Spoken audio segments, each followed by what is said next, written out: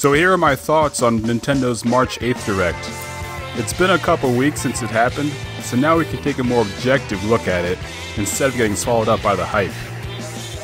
Speaking of hype, did you see the new Smash Brothers reveal? Yes, of course I saw it, and also the 18 billion reaction videos being uploaded. They're all kind of the same in that everyone had zero idea what it was until the logo showed up. They showed Splatoon 2 models for the past 5 minutes and then said, One more thing! And then showed weapons and characters from Splatoon 1, and people were shocked when the Smash logo appeared. You'd think this would have immediately cued people's brains to Smash Bros, since Inklings are such obvious additions, and Smash Switch has been rumored for quite a while. Inklings are in it, and a veteran has a new costume. Brand new game, not a port. The zero seconds of gameplay we saw proves it. This game has done nothing similar to other Smash Bros. To everyone saying this, you might want to quell your expectations a little bit. While I do think it will be marketed as a new game, because that will sell more copies than an enhanced port, don't be surprised if this game copy pastes anywhere from 60 90% of its content from the Wii U and 3DS games. Because if there's one thing that gamers love to ignore, it's that game design is hard and takes a long time, and it's much easier to port stuff over than to entirely recreate everything. Which is fine. Smash 4 is the best one, with the best roster, and doesn't need any major retooling mechanically, and definitely deserves new life on another console, but expect it to be more of a Smash 4.75 than a true Smash 5. They'll probably take pretty much everything from the Wii U game, bring in a bunch of stuff from the 3DS game, and then pile on a bunch of new stuff. Which again, is fine.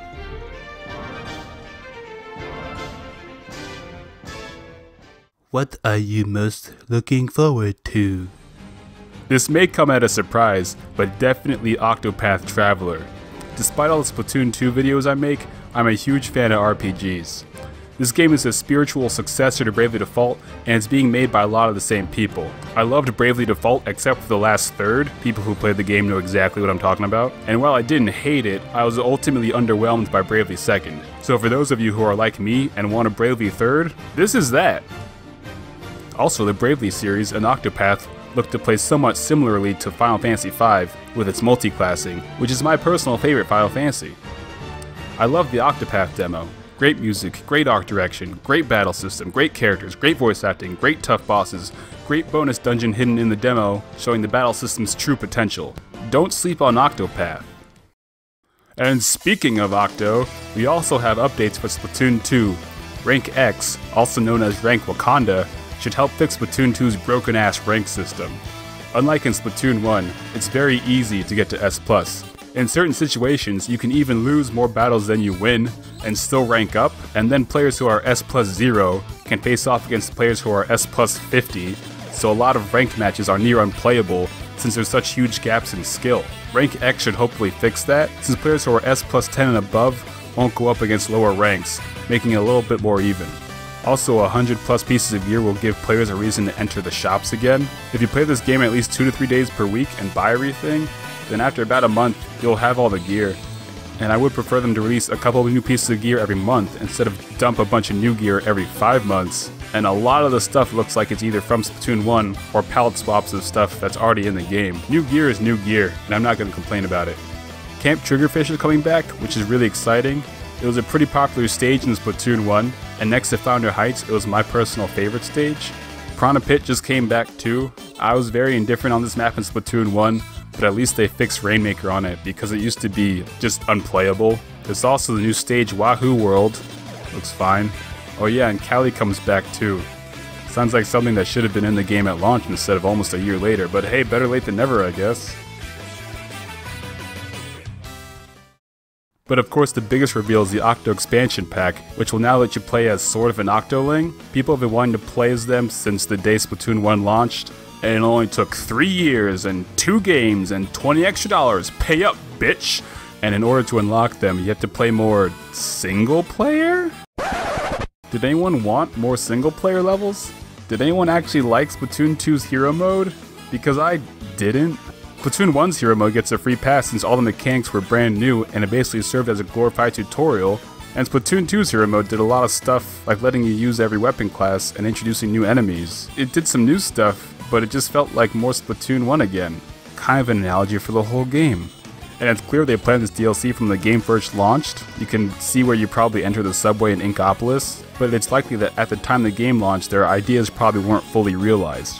And we didn't really see too much from the trailer, although GameXplain did do a really good analysis showing a lot of hidden details I highly recommend watching. Octo Expansion sort of looks like more hero mode. Can it actually be good? How to make Octo Expansion actually be good. Step 1. Tell an actual story. Splatoon 1 Hero Mode had a shell of a story, and Splatoon 2 had even less of one. In fact, it can be summarized in one sentence. Callie and the Great Zapfish are missing. In the last level, you find them. That's it, that's the whole thing, I left out zero details. And while the Sunken Sea Scrolls in Splatoon 1 told you about the lore of the world that the squids live in, Splatoon 2 basically had no info on them. Hey, it's me, Crusty Sean, I'm moving my shop. Cool, dude. From the trailer, we can see new characters and actual dialogue, so maybe you'll actually do this. Step 2 Add in new gameplay objectives. At its best, Hero Mode was a mix between Mario Galaxy and Sonic Adventure 2. And at its worst was this fucking bullshit. And there are only three types of levels get the big fish, get the little fish, get the boss. So if Octo Expansion wants to distinguish itself from Hero Mode, then do something different.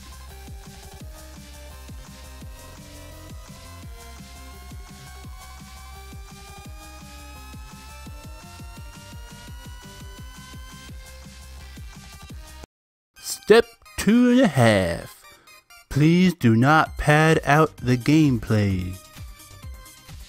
One feature that I can't believe they brought back in Splatoon 2 Hero Mode was all the levels being invisible and you have to find them. This was really annoying and not fun at all, and all it did was artificially lengthen single player. Like it seriously added an hour onto my first playthrough. Since Octo Expansion takes place in a subway, I just want to be able to use the subway to go directly to a level, not spraying at nothing for the better part of an hour. Also having to repeat the levels to get the hero weapons was dumb. Especially because your first time through hero mode levels, with the exception of the Octoling get the little fish levels, you couldn't pick your weapon, so in order to get a single hero weapon, you basically have to play each level twice. So I had to do more of something I didn't want to do in order to get something I actually wanted. Just like real life. It looks like you will get to pick which weapon you use for each level, but I hope this doesn't eventually lead to the player having to keep repeating the same levels, but with different weapons, but rather which weapon you pick determines your difficulty and your high score and potential rewards. And speaking of, Step 3 More rewards for completion. After paying 20 extra dollars, pay up, bitch, and playing through 80 single player levels, which will take anywhere from 6 to 10 hours, or even more, you get essentially what's an alternate squid form, which you'll never see in a match since you'll be in ink, and a glorified hairstyle. What, what, what, what the fuck is that? Get, get, get that out of here. In Splatoon 1, when you complete Hero Mode, you get the Hero Gear, the Octoling Gear, the Hero Shot, blueprints for weapons and multiplayer you couldn't otherwise get, and eventually you could level up and get the Octo Shot, and 3 pieces of Hero Armor. In Splatoon 2, you get the Hero Gear.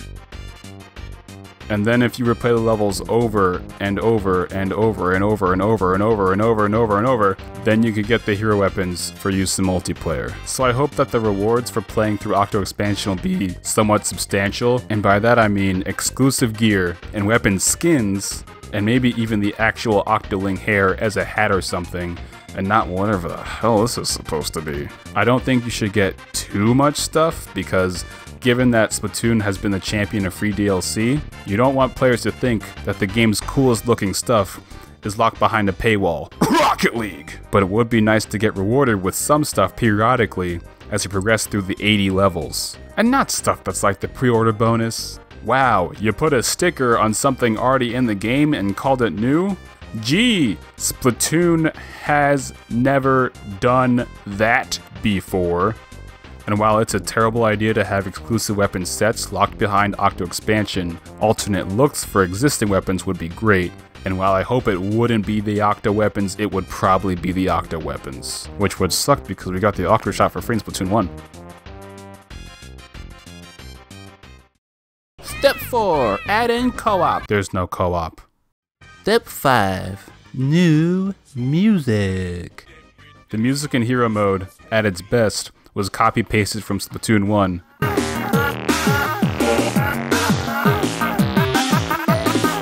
And at its worst was...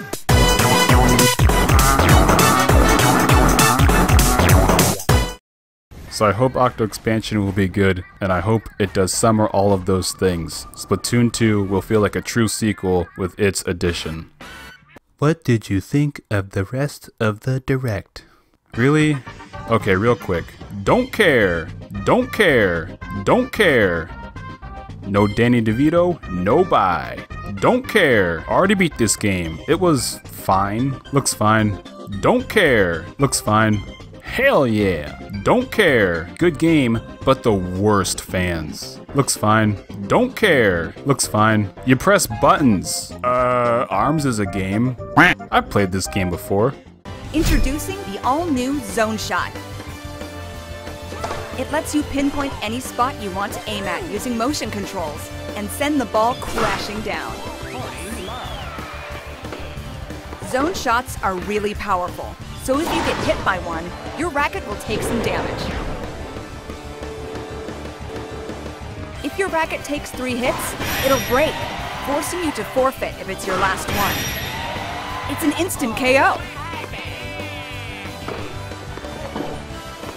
Don't give up hope.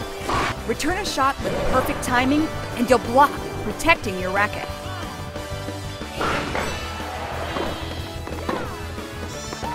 It's no small feat to nail the timing just right.